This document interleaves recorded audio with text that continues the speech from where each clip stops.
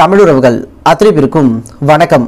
அவசர செய்தி ஈகியருக்கு நாளை வீர வணக்கம். இந்த தலைப்பில் தான் இந்த காணொலியிட பேசுகிறக்கோம் அதாவதுங்க குறிஞ்சாங்குளத்தில் தமிழர் வழிபாட்டு உரிமை மீட்க போராடி உயிர்நீத்த ஈகியருக்கு வீர வணக்கம் செலுத்தக்கூடிய நிகழ்வு நாளை காலை சரியாக பத்து மணி அளவில் நாம் தமிழர் கட்சியின் தலைமை அலுவலகத்தில் அண்ணன் சீமான் அவர்களுடைய தலைமையில் வந்து நடைபெற இருக்கிறது. குறிப்பாக இந்த நிகழ்ச்சியில் பார்த்தீங்கன்னா நாம் தமிழர் கட்சியின் அனைத்து நில பொறுப்பாளர்களும் அதேபோல் உறுப்பினர்களும் பங்கேற்குமாறு நாம் தமிழர் கட்சி தலைமையிலிருந்து அறிவுறுத்தியிருக்காங்க.